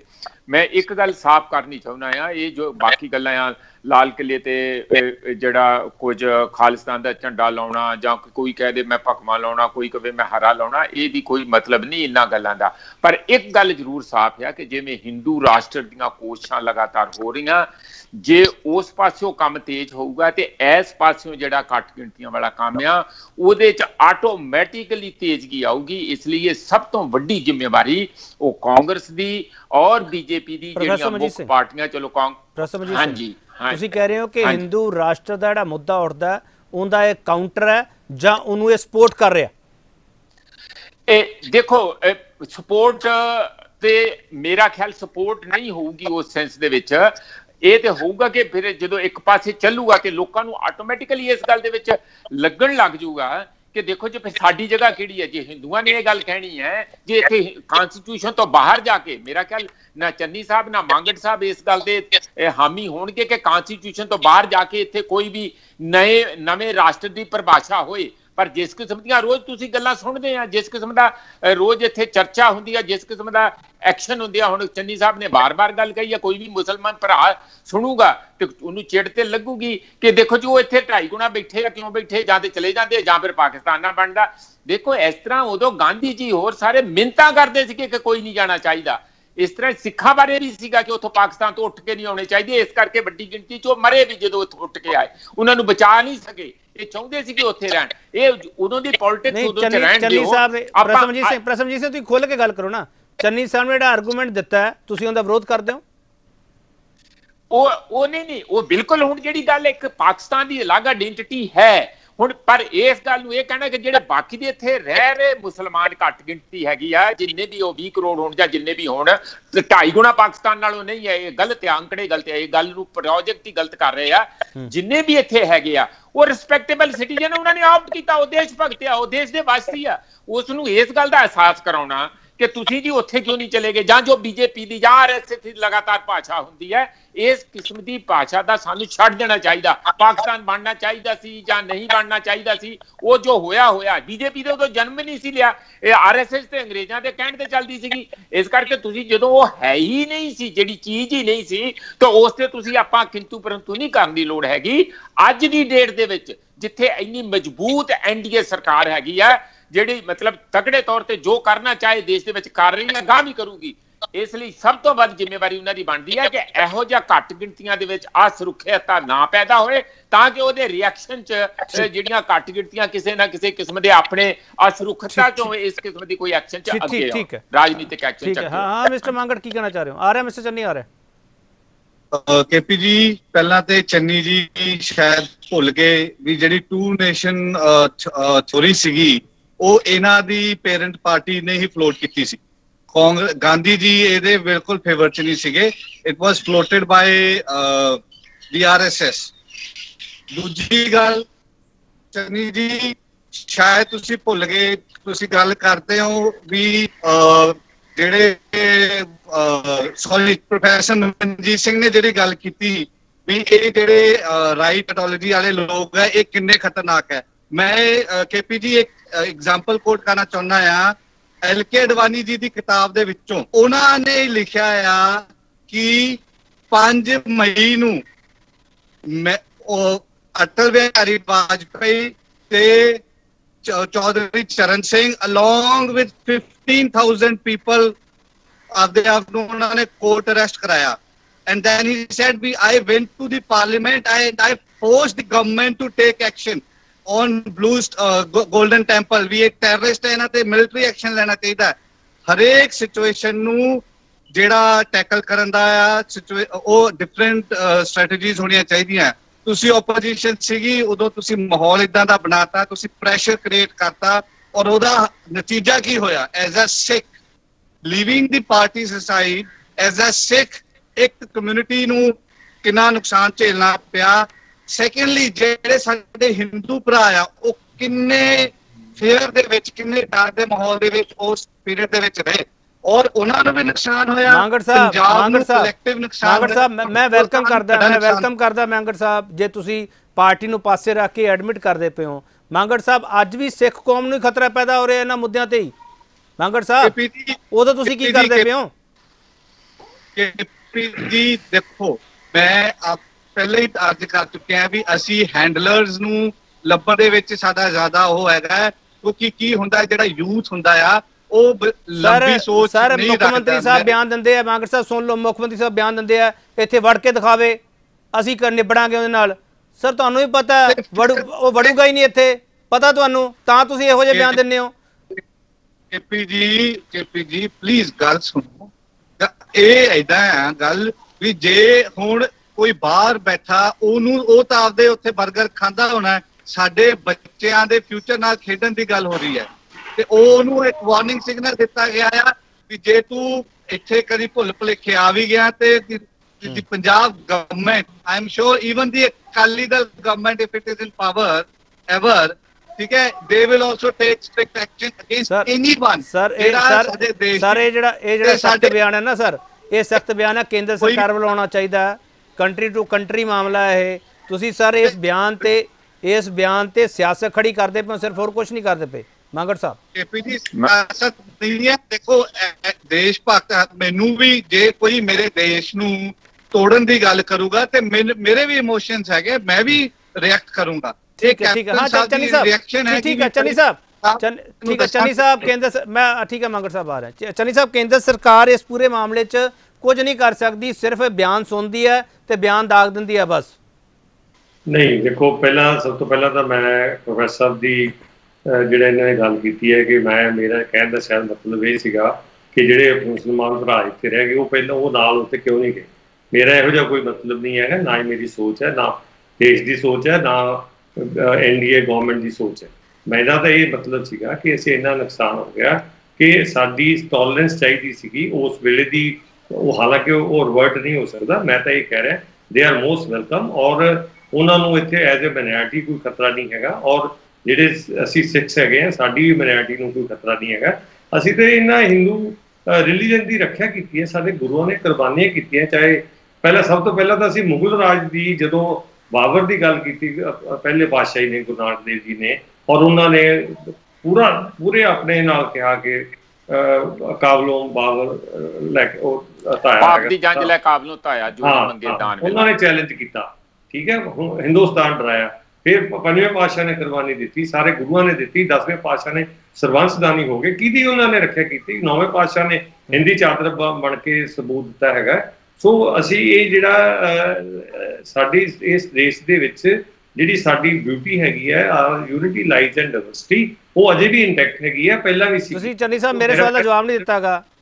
ਮੈਂ ਨਹੀਂ ਮੈਂ ਇੱਕ ਚੀਜ਼ ਤਾਂ ਇਹ ਸਪਸ਼ਟ ਕਰਨੀ ਚਾਹੁੰਦਾ ਸੀਗਾ। ਦੂਸਰੀ ਗੱਲ ਜਿਹੜੀ ਹੋਈ ਹੈ ਮੰਨ ਲਓ ਜੇ ਬਾਬਰੀ ਮਸਜਿਦ ਦੀ ਗੱਲ ਵੀ ਕਰ ਲਈਏ ਤਾਂ ਉਹ ਬਾਬਰ ਨੇ ਬਣਾਈ ਸੀ। ਜਿਹੜੇ ਸਾਡੇ ਮੁਸਲਮਾਨ ਭਰਾ ਨੇ ਉਹਨਾਂ ਨੇ ਚੰਨੀ ਸਾਹਿਬ ਚੰਨੀ ਸਾਹਿਬ ਡਿਬੇਟ ਦਾ ਵੱਖਰਾ ਪਾਰਟ ਹੈ ਫਿਰ ਮੈਨੂੰ ਗੋਬਿੰਦ ਰਮਾਇਣ ਵਿੱਚ ਪੁੱਛਣੀ ਪੈਣੀ ਹੈ। ਫਿਰ ਮੈਨੂੰ ਇਹ ਪੁੱਛਣਾ ਪੈਣਾ ਜਦੋਂ ਯੋਧਿਆ ਦਾ ਫੈਸਲਾ ਆਇਆ ਉਹਦੇ ਵਿੱਚ ਕਿਹੜੀਆਂ ਦਲੀਲਾਂ ਦਿੱਤੀਆਂ ਗਈਆਂ? ਛੱਡੋ ਨਾ ਚੰਨੀ ਸਾਹਿਬ ਆਪਣਾ ਟੌਪਿਕ ਨਹੀਂ ਹੈਗਾਗਾ। ਮੇਰਾ ਟੌਪਿਕ ਤਾਂ ਸਰ ਚੰਨੀ ਸਾਹਿਬ ਚੰਨੀ ਸਾਹਿਬ ਸਵਾਲ ਤੇ ਹੈ ਕੇਂਦਰ ਸਰਕਾਰ ਐਸਐਫਜੇ ਦੇ ਖਿਲਾਫ ਕਿਹੜੀ ਕਾਰਵਾਈ ਉਹਨੇ ਕਰਕੇ ਦਿਖਾਈ ਹੈ ਸਰ? ਇੱਕ ਇੱਕ ਸੈਕਿੰਡ ਮੈਨੂੰ ਮਾਂਗ ਸਾਹਿਬ ਦਾ ਜਵਾਬ ਦੇ ਲੈਣ ਦਿਓ। ਕਹਿੰਦੇ ਜੀ ਅਡਵਾਨੀ ਜੀ ਦੇ ਕਹਿਣ ਤੇ ਔਰ ਮੇਰੇ ਸਵਾਲ ਦਾ ਜਵਾਬ ਹੀ ਦਿੰਦੇ ਪਏ ਚੰਨੀ ਸਾਹਿਬ। ਅਸੀਂ ਅਕਾਲ ਤਖਤ ਤੇ ਹਮਲਾ ਕਰਤਾ। ਇਹ ਮਤਲਬ ਬਹੁਤ ਹੀ ਹਾਸੋਹੀਣੀ ਗੱਲ ਹੈ ਕਿ ਤੁਹਾਡੀ ਸਰਕਾਰ ਹੈ ਸੈਂਟਰ ਦੀ ਸਰਕਾਰ ਹੈਗੀ ਹੈ ਉਹ ਇੱਥੇ ਆਰਮੀ ਭੇਜ ਰਹੀ ਹੈ। ਕਿਸੇ ਦੇ ਕਹਿਣ ਤੇ ਸੋ ਤੁਸੀਂ ਮੈਨੂੰ ਬ੍ਰੇਕ ਲੈਣਾ ਪੈਣਾ ਸਰ ਬ੍ਰੇਕ ਲੈਣਾ ਪੈਣਾ ਵਕਤ ਹੋ ਗਿਆ ਬ੍ਰੇਕ ਦਾ। ਬਾਰ-ਬਾਰ ਬਾਰ-ਬਾਰ ਸਰ ਮੈਨੂੰ ਕਮਾਂਡ ਆ ਰਹੀ ਹੈ। ਮੈਂ ਲੈ ਰਿਹਾ ਇੱਕ ਬ੍ਰੇਕ ਲੈ ਲਵਾਂ ਮਿਸਟਰ ਮੰਗਟ ਆ ਰਹੇ ਆ ਬ੍ਰੇਕ ਲੈ ਰਿਹਾ। ਤੁਸੀਂ ਹੋਰ ਹੀ ਮੁੱਦੇ ਵੱਲ ਚਲੇ ਗਏ ਇਦਾਂ ਮੁੱਦਾ ਪਟਕਾਉਣ ਨਹੀਂ ਦਊਂਗਾ ਮੈਂ। ਤਿਰੰਗੇ ਦਾ ਅਪਮਾਨ ਹੋਇਆ ਇਸ ਤੇ ਐਕਸ਼ਨ ਕੀ ਹੋ ਰਿਹਾ ਸਿਆਸਤ ਕੀ ਕਹਿ ਰਹੀ ਹੈ ਸਵਾਲ ਬਹੁਤ ਸਾਰੇ ਹੈ। ਖਾਲਿਸਤਾਨ ਦਾ ਮੁੱਦਾ ਫਿਰ ਕਿਉਂ ਖੜਾ ਕੀਤਾ ਜਾ ਰਿਹਾ? ਵਾਪਸ ਆ ਰਿਹਾ ਵੱਡਾ ਸਵਾਲ ਇੱਕੋ ਪੁੱਛ ਰਹੇ ਹਾਂ ਕਿ ਤਿਰੰਗੇ ਦਾ ਅਪਮਾਨ ਕਰਨਾ ਖਾਲਿਸਤਾਨ ਦੇ ਏਜੰਡੇ ਨੂੰ ਹਮਾਇਤ ਮਿਲ ਜਾਵੇਗੀ। ਪ੍ਰੋਫੈਸਰ ਮਨਜੀਤ ਸਿੰਘ ਸਰ, ਮੈਂ ਦੋਨੋਂ ਵੱਡੀਆਂ ਪਾਰਟੀਆਂ ਨੂੰ ਵਾਰ-ਵਾਰ ਸਵਾਲ ਕਰ ਰਿਹਾ, ਅਸੀਂ ਆਖਰੀ ਹਿੱਸੇ ਵਿੱਚ ਹਾਂ। ਕਿਰਪਾ ਕਰਕੇ ਜੇ ਤੁਸੀਂ ਮੇਰੇ ਸਵਾਲ ਦਾ ਜਵਾਬ ਦੇ ਸਕਦੇ ਹੋ। ਮੇਰਾ ਸਵਾਲ ਇਹ ਸੀ, ਸਰ ਪੰਜਾਬ ਦੀ ਜਵਾਨੀ ਨੂੰ ਮੈਂ ਕਿਹਾ ਸੀ, ਕੁਰਾਹੇ ਪਾ- ਪਾਉਣ ਦੀ ਕੋਸ਼ਿਸ਼ ਕੀਤੀ ਜਾ ਰਹੀ ਹੈ। ਤੁਸੀਂ ਕੁਝ ਹੋਰ ਸ਼ਬਦ ਵਰਤੇ ਸੀ ਪ੍ਰੋਫੈਸਰ ਸਿੰਘ। ਸਵਾਲ ਇਹ ਹੈ, ਸਰ, ਜਿਹੜਾ ਮੁੱਖ ਬੰਦਾ ਹੈਗਾ ਜਿਹਦੇ ਤੇ ਸਭ ਕੁਝ ਚੱਲਦਾ ਪਿਆ ਕਹਿੰਦੇ ਉਹਦਾ ਟਵਿੱਟਰ ਅਸੀਂ ਬੈਨ ਕਰਤਾ ਉਹਦੀ ਜਥੇਬੰਦੀ ਤੇ ਬੈਨ ਲਾਤਾ। ਅੱਜ ਵੀ ਸੋਸ਼ਲ ਮੀਡੀਆ ਤੇ ਸਰ ਉਹਦਾ ਵੀਡੀਓ ਪਿਆ ਹੋਇਆ। ਅੱਜ ਵੀ ਉਹ ਕਹਿ ਰਿਹਾ 2500 ਡਾਲਰ ਦੇਣ ਨੂੰ ਮੈਂ ਤਿਆਰ ਬੈਠਾ। ਅੱਜ ਵੀ ਕਿਹਾ ਜਾ ਰਿਹਾ ਕਿ ਇੰਨੇ ਮਿਲੀਅਨ ਡਾਲਰ ਮੈਂ ਦੇ ਦੂੰਗਾ ਲਾਲ ਕਿਲੇ ਤੇ ਝੰਡਾ ਲਹਿਰਾ ਦਿਓ ਸਰ ਮੇਰਾ ਸਵਾਲ ਤੇ ਪ੍ਰਸਮਜੀਤ ਸਿੰਘ ਜੇ ਇਹਨਾਂ ਨੌਜਵਾਨਾਂ ਨੂੰ ਆਪਦੇ ਕੋਲੇ ਰੱਖਣਾ ਹੈ ਆਪਦੇ ਕਲਾਵੇ ਦੇ ਵਿੱਚ ਲੈਣਾ ਤਾਂ ਇਹ ਸਿਆਸਤ ਨੂੰ ਉੱਥੋਂ? ਤੱਕ ਕਾਰਵਾਈ ਕਰਨੀ ਚਾਹੀਦੀ ਹੈ ਪ੍ਰਸਮਜੀਤ ਸਿੰਘ। ਸਰ ਮੇਰਾ ਸਵਾਲ ਪਹੁੰਚ ਗਿਆ ਤੁਹਾਡੇ ਤੱਕ ਪ੍ਰਸਮਜੀਤ ਸਿੰਘ? ਪ੍ਰਸਮਜੀਤ ਸਿੰਘ ਮੇਰਾ ਖਿਆਲ ਮੇਰੀ ਆਵਾਜ਼ ਤੁਹਾਡੇ ਤੱਕ ਨਹੀਂ ਪਹੁੰਚੇਗੀ। ਚਲੋ ਚਲੋ ਵਾ- ਵਾਪਸ ਆ ਜਾਊਂਗਾ ਮੈਂ ਪ੍ਰਸਮਜੀਤ ਸਿੰਘ। ਅ, ਮੈਂ- ਚੰਨੀ ਸਾਹਿਬ ਮੈਂ ਫਿਰ ਸਵਾਲ ਸਵਾਲ ਤੁਹਾਨੂੰ ਦੁਬਾਰਾ ਕਰ ਰਿਹਾ। ਕੇਂਦਰ ਸਰਕਾਰ ਜਥੇਬੰਦੀ ਨੂੰ ਪਾਬੰਦ ਕਰਨ ਤੋਂ ਇਲਾਵਾ ਜਥੇਬੰਦੀ ਨੂੰ ਬੈਨ ਕਰਨ ਤੋਂ ਇਲਾਵਾ ਹੋਰ ਕੋਈ ਕਾਰਵਾਈ ਕਰਨ ਦੇ ਸਮਰੱਥ ਕਿਉਂ ਨਹੀਂ? ਬਿਲਕੁਲ ਸਮਰੱਥ ਹੈ। ਇਹ we are a sovereign country ਔਰ ਕੰਟਰੀ ਟੂ ਕੰਟਰੀ ਜਿਹੜੀਆਂ ਟ੍ਰੀਟੀਜ਼ ਹੁੰਦੀਆਂ ਨੇ ਔਰ ਜਿਹੜਾ ਇੰਟਰਨੈਸ਼ਨਲ ਲਾਅ ਅਪਲਾਈ ਹੁੰਦਾ ਹੈ ਉਹ ਸਾਰਾ ਕੁਝ ਹੋਏਗਾ। ਔਰ ਆਲਰੇਡੀ ਅਸੀਂ ਇਹਨੂੰ ਬੈਨ ਕੀਤਾ ਹੋਇਆ ਹੈ ਔਰ ਜਿਹੜੀਆਂ ਉਹਨੇ ਐਕਟੀਵਿਟੀਜ਼ ਕੀਤੀਆਂ ਨੇ ਉਹਦੇ ਅਗੇਂਸਟ ਪੰਜਾਬ ਦੇ ਵਿੱਚ ਵੀ ਕੇਸ ਰਜਿਸਟਰ ਹੋਏ ਨੇ ਹਰਿਆਣਾ ਦੇ ਵਿੱਚ ਵੀ ਕੇਸ ਰਜਿਸਟਰ ਹੋਏ ਨੇ ਤੇ law's going to take own course ਉਹ ਸਾਨੂੰ ਘਬਰਾਉਣ ਦੀ ਲੋੜ ਨਹੀਂ ਹੈਗੀ। ਔਰ ਇਹ ਸਰ ਜਿਹੜੀ ਘਬਰਾਹਟ ਇਸ ਕਰਕੇ ਚੰਨੀ ਸਾਹਿਬ ਘਬਰਾਹਟ ਇਸ ਇਹ ਕਰਕੇ ਹੈ। ਘਬਰਾਹਟ ਸਾਰੇ ਇਸ ਕਰਕੇ ਹੈ ਚੰਨੀ ਸਾਹਿਬ। ਸਾਡੇ ਵਰਗੇ ਨੌਜਵਾਨ ਸਾਡੇ ਵਰਗੇ ਨੌਜਵਾਨ ਪੁਲਿਸ ਦੇ ਸ਼ਿਕੰਜੇ ਵਿੱਚ ਆ ਰਹੇ ਆ। ਉਹਨਾਂ ਤੇ ਕੇਸ ਦਰਜ ਹੋ ਰਹੇ ਦੇਖੋ, ਉਹਨਾਂ ਨੂੰ ਭਟਕਾਇਆ ਜਾ ਰਿਹਾ ਉਹਨਾਂ ਨੂੰ ਗੁੰਮਰਾਹ ਕੀਤਾ ਜਾ ਰਿਹਾ ਡਾਲਰਾਂ ਦੇ ਨਾਮ ਤੇ ਚੰਨੀ ਕੱਲ ਮੈਂ ਜ਼ਰੂਰ ਕਹਾਂਗਾ ਕਿ ਹਰ ਬੰਦੇ ਨੂੰ ਇੰਨੀ ਜ਼ਰੂਰ ਸਮਝ ਹੈਗੀ ਹੈ ਖਾਸ ਕਰਕੇ ਅੱਜ ਦੇ ਯੁੱਗ ਦੇ ਵਿੱਚ ਕਿ ਉਹਨੇ ਗਮਰਾਹ ਹੋਣਾ ਹੈ ਕਿ ਨਹੀਂ ਹੋਣਾ। ਔਰ ਸਾਡਾ ਜਿਹੜਾ ਯੂਥ ਹੈਗਾ ਜਾਂ ਸਾਡੇ ਬੱਚੇ ਹੈਗੇ ਨੇ ਉਹ ਬਹੁਤ ਜ਼ਿਆਦਾ ਮੈਜੋਰਿਟੀ ਜਿਹੜੀ ਹੈਗੀ ਹੈ ਉਹ ਸਮਝਦੀ ਹੈ ਹਰ ਗੱਲ ਨੂੰ। ਅਸੀਂ ਤੇ ਗਲੋਬਲ ਵਿਲੇਜ ਦੀ ਗੱਲ ਕਰ ਰਹੇ ਹਾਂ। ਅਸੀਂ ਇੰਟਰਨੈਸ਼ਨਲ ਗੱਲਾਂ ਕਰ ਰਹੇ ਹਾਂ ਇੰਟਰਨੈਸ਼ਨਲ ਸਿਟੀਜ਼ਨ ਦੀ ਗੱਲ ਕਰ ਰਹੇ ਹਾਂ। ਅਸੀਂ ਔਰ ਅਸੀਂ ਫਿਰ ਜਿਹੜਾ ਕੁਛ ਇਹਨਾਂ ਸਤਾਪ ਭੋਗੋ ਤੋਂ ਬਾਅਦ ਅਸੀਂ ਇੱਕ ਬੰਦੇ ਦੇ ਕਹਿਣ ਤੇ ਮੇਰਾ ਖਿਆਲ ਤਾਂ ਸਾਨੂੰ ਜਿਹੜਾ law should take its own course ਔਰ ਸਾਨੂੰ ਜਿਹੜੀ ਇਹਦੀ ਜੇ ਉਹਨੇ ਕਿਸੇ ਸੋਸ਼ਲ ਮੀਡੀਆ ਤੇ ਕੋਈ ਸ਼ਰਾਰਤ ਕਰਤੀ ਹੈ ਔਰ ਉਹਨੂੰ ਇੰਨਾ ਕੋਈ ਸੀਰੀਅਸਲੀ ਨਹੀਂ ਲੈਣ ਦੀ ਲੋੜ, ਨਹੀਂ ਲੈਣਾ ਚਾਹੀਦਾ। ਲਾਅ ਕਾਫੀ ਹੈ। ਲਾਅ ਕੋਈ ਸਿੰਪਲ ਨਹੀਂ ਹੈਗਾ ਲਾਅ ਕੋਈ ਸੌਫਟ ਨਹੀਂ ਹੈਗਾ, ਉਹਦਾ ਹੋ ਜਾਏਗਾ। ਪਰ ਇਹ ਜਿਹੜੇ ਸਾਡੇ ਨੌਜਵਾਨ ਆ, ਉਹਨਾਂ ਨੂੰ ਜ਼ਰੂਰ ਸਾਨੂੰ ਗਾਈਡ ਕਰਨਾ ਚਾਹੀਦਾ। ਤਾਂ ਕਿ ਜਿਹੜੀ ਸਾਡੀ ਮਿਸਟਰ ਮੰਗਟ ਇਹ ਕਹ ਰਹੇ ਨੌਜਵਾਨਾਂ ਨੂੰ ਗਾਈਡ ਕਰਨਾ ਚਾਹੀਦਾ। ਮੇਰਾ ਸਵਾਲ ਹੈ ਸਰ ਨੌਜਵਾਨਾਂ ਨੂੰ ਉਹਨਾਂ ਦੀ એનર્ਜੀ ਜਿਹੜੀ ਚੈਨਲਾਈਜ਼ ਨਹੀਂ ਕੀਤੀ ਜਾ ਰਹੀ ਚਾਹੇ ਰੋਜ਼ਗਾਰ ਦਾ ਮਾਮਲਾ ਹੋਵੇ ਚਾਹੇ ਗਰਾਊਂਡ ਤੇ ਜਾਣ ਦਾ ਮਾਮਲਾ ਹੋਵੇ। ਇਸ ਕਰਕੇ ਨੌਜਵਾਨ ਇਹਨਾਂ ਗੱਲਾਂ ਵਿੱਚ ਪੈ ਰਹੇ ਆ। ਤੁਹਾਨੂੰ ਲੱਗਦਾ ਮਿਸਟਰ ਮੰਗਟ?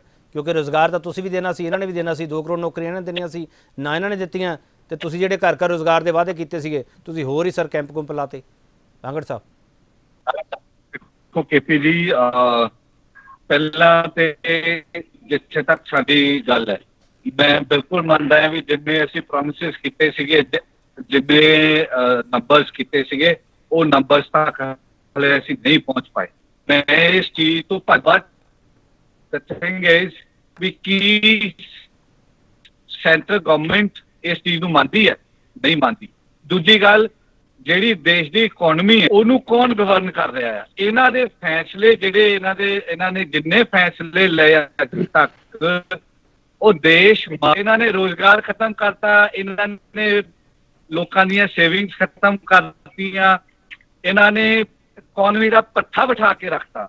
ਹੁਣ ਜੇ ਡਰਾਈਵਿੰਗ ਫੋਰਸ ਹੀ ਜੇ ਇੰਜਨ ਹੀ ਖੜ ਜਾਵੇ ਟ੍ਰੇਨ ਦਾ ਤੇ ਮਗਰਲਾ ਮਗਰਲੀ ਬੋਗੀਆਂ ਕਿੰਨਾ ਕੁ ਚਿਰ ਉਹਨੂੰ ਤੱਕ ਮੰਗਟ ਸਾਹਿਬ ਤੁਹਾਡੀ ਗੱਲ ਮੰਨ ਲਈ। ਤੁਹਾਡੀ ਗੱਲ ਮੰਨ ਲਈ। ਤੁਹਾਡੀ ਗੱਲ ਮੰਨ ਲਈ ਮੰਗਟ ਸਾਹਿਬ। ਇੰਜਨ ਦੇ ਵਿੱਚ ਖਰਾਬੀ ਹੋ ਸਕਦੀ ਹੈ। ਪਰ ਸਰ ਸਵਾਲ ਤੁਹਾਡੇ ਤੇ ਵੀ ਹੈ। ਤੁਸੀਂ ਜਿਹੜੇ ਇੰਜਨ ਇੱਥੇ ਪੰਜਾਬ ਦੇ ਵਿੱਚ ਲਾਉਣੇ ਸੀਗੇ ਉਹ ਮਾਫੀਆ ਖਾ ਗਿਆ। ਦੂਜਾ ਸਵਾਲ ਹੈ ਹੁਣ ਜਿਹੜਾ ਮਨਟੇਕ ਸਿੰਘ ਆਲੂ ਵਾਲੀ ਵਾਲੀ ਕਮੇਟੀ ਹੈ ਉਹ ਜਿਹੜੀਆਂ ਸਿਫਾਰਸ਼ਾਂ ਦੱਸ ਰਹੀ ਹੈ ਸਰ ਉਹਦੇ ਨਾਲ ਤਾਂ ਪੰਜਾਬੀ ਹੋਰ ਡਰਨ ਲੱਗ ਪਏ ਕਿ ਅਸੀਂ ਕਮਾਣਾ ਕਿ ਸਰਕਾਰ ਲਈ ਕਮਾ ਰਹੇ ਕਿ ਕਮਾ ਕੇ ਹੀ ਸਰਕਾਰ ਦੇ ਖਾਤੇ 'ਚ ਪਾ ਦੇਣਾ ਸਾਰਾ ਕੁਝ ਆ ਰਿਹਾ ਪ੍ਰਸਮਜੀਤ ਸਿੰਘ। ਏਪੀ ਜੀ ਗੱਲ ਇਹ ਹੈ ਵੀ ਜਦੋਂ ਇੰਜਨ ਖੜਾ ਹੋਵੇ ਨਾ ਬਿਲਕੁਲ ਜੀ ਜਿਹੜਾ ਹੋਵੇ ਉਹਨੂੰ ਪੁਸ਼ ਥੋੜਾ ਦੇਣਾ ਹੀ ਪੈਂਦਾ ਹੈ। ਹੁਣ ਐਟਲੀਸਟ ਅਸੀਂ ਸਰ- 20 ਲੱਖ ਕਰੋੜ ਦਾ ਸਰ ਇਹ ਉਹੀ- ਕਮੇਟੀਆਂ। ਸਰ ਇਹ ਉਹੀ ਕਮੇਟੀਆਂ ਜਿਹੜਾ ਇਹਨਾਂ ਨੇ 32 ਰੁਪਏ ਵਾਲਾ ਇੱਕ ਸਾਡੇ ਅੱਗੇ ਮਾਡਲ ਰੱਖਤਾ ਸੀ ਸਰ। ਇਹ ਉਹੀ ਕਮੇਟੀਆਂ ਸਰ ਮੰਗੜ ਸਾਹਿਬ ਤੁਸੀਂ ਇੱਕ ਦੂਜੇ ਨੂੰ ਨਿੰਦੇ ਰਹੋ ਸਰ ਆਪਣੇ ਕੋਲ ਜਿਹੜੇ ਸੋਰਸਸ ਹੈ ਤੁਸੀਂ ਉਹਨਾਂ ਤੋਂ ਕੀ ਖੱਟ ਲਿਆ ਸਰ ਮੰਗੜ ਸਾਹਿਬ? ਕੇਂਦਰ ਸਰਕਾਰ ਕੇਂਦਰ ਸਰਕਾਰ ਦੀ ਜ਼ਿੰਮੇਵਾਰੀ ਬਣਦੀ ਹੈ ਮੈਂ ਮੰਨਦਾ ਪਿਆ। ਪਰ ਇੱਥੇ ਜਿਹੜਾ ਕੋਈ ਸਾਡੇ ਕੋਲ ਸੋਰਸ ਸੀ ਤੁਸੀਂ ਉਹਨਾਂ ਤੋਂ ਕੀ ਕਮਾ ਲਿਆ ਸਰ ਖਜ਼ਾਨੇ ਲੁੱਟੇ ਜਾ ਰਹੇ ਆ ਮੰਗੜ ਸਾਹਿਬ। ਏਪੀ ਜੀ ਗੱਲ ਹੈਗੀ ਇਦਾਂ ਜਿਹੜੀ ਸਾਡੀ ਸਟੇਟ ਹੈਗੀ ਆ ਉਹ ਲੈਂਡਲੌਕ ਸਟੇਟ ਹੈਗੀ ਹੈ। ਸਾਡੀ ਮੇਜਰ ਜਿਹੜੀ ਇੰਡਸਟਰੀ ਹੈਗੀ ਹੈ ਉਹ ਐਗਰੀਕਲਚਰ ਹੈਗੀ ਹੈ ਤੇ ਹੁਣ ਐਗਰੀਕਲਚਰ ਦੇ ਵਿੱਚੋਂ ਸਾਡੀ ਯੀਲਡ ਜਿਹੜੀ ਐਤਕੀ ਹੋਈ ਹੈ ਪਿਛਲੇ ਵਾਰ ਨਾਲੋਂ ਜ਼ਿਆਦਾ ਹੋਈ ਹੈ ਦੂਜੀ ਗੱਲ ਠੀਕ ਹੈ ਸਰ ਠੀਕ ਹੈ ਮੰਗਲ industrial ਸਾਹਿਬ। ਐਗਰੀਕਲਚਰ ਤੇ ਆਰਡੀਨੈਂਸ ਦਾ ਤੁਸੀਂ ਤੁਸੀਂ ਵਿਰੋਧ ਕਰੋ ਸਰ। ਤੁਸੀਂ ਵਿਰੋਧ ਕਰੋ। ਤੁਹਾਡੀ ਕਮੇਟੀ ਕਵੇ ਕਮੇਟੀ ਕਵੇ ਨਹੀਂ ਉਹਨਾਂ ਨੂੰ ਲਾਗੂ ਕਰੋ। ਮੈਂ ਵੈਸੇ ਇਸ। ਮੁੱਦੇ ਤੇ ਵੱਖਰੀ ਡਿਬੇਟ ਕਰਨੀ ਹੈ ਸਰ। ਕੀ, ਅ, ਮੈਂ ਤੁਹਾਡਾ ਸਵਾਲ ਨਹੀਂ ਸੁਣ ਪਾਇਆ ਪਲੀਜ਼ ਕਮ ਅਗੇਨ ਜੀ। ਸਰ ਮੈਂ ਇਹ ਕਹਿ ਰਿਹਾ ਸੀਗਾ ਆਰਡੀਨੈਂਸ ਦਾ ਤੁਸੀਂ ਵਿਰੋਧ ਕਰੋ ਬਤੌਰ ਸਰਕਾਰ। ਤੁਹਾਡੀ ਕਮੇਟੀ ਹੈ ਉਹ ਕਵੇ ਖੇਤੀ ਆਰਡੀਨੈਂਸ ਲਾਗੂ ਕਰੋ। ਪ੍ਰੋਫੈਸ਼ਨਲ ਟੈਕਸ ਵਧਾ ਦਿਓ ਇਹੋ ਜਿਹੀਆਂ ਸਿਫਾਰਸ਼ਾਂ ਜਦੋਂ ਆਉਣ ਸਰ ਮੈਨੂੰ ਤਾਂ ਤੁਹਾਡੇ ਸਟੈਂਡ ਵਿੱਚ ਮੈਨੂੰ ਕਮੀ ਲੱਗਦੀ ਹੈ ਫਿਰ। ਤੁਹਾਡਾ ਸਟੈਂਡ ਹੈ ਕਿੱਥੇ ਹੈ ਜਿਹੜੀ ਉਹਨਾਂ ਨੇ ਸਿਫਾਰਸ਼ਾਂ ਕੀਤੀਆਂ ਉਹ ਹਲੇ ਜਿਹੜੀਆਂ ਆਰਡੀਨੈਂਸ ਨੂੰ ਜਾਂ ਜਿਹੜੀ ਵੀ ਕੋਈ ਵੀ ਜਿਹੜੀ ਸਿਫਾਰਸ਼ ਹੈ ਦੇਖੋ ਜਿਹੜਾ ਇੱਕ ਇਕਨੋਮਿਸਟ ਦਾ ਟੈਕਸੇਸ਼ਨ ਵਾਲਾ ਬੰਦਾ ਹੁੰਦਾ ਹੈ ਉਹਨੇ ਹਮੇਸ਼ਾ ਇਹ ਸੋਚ ਕੇ ਚੱਲਣਾ ਹੈ ਵੀ ਰੈਵਨਿਊ ਠੀਕ ਹੈ ਸਰ।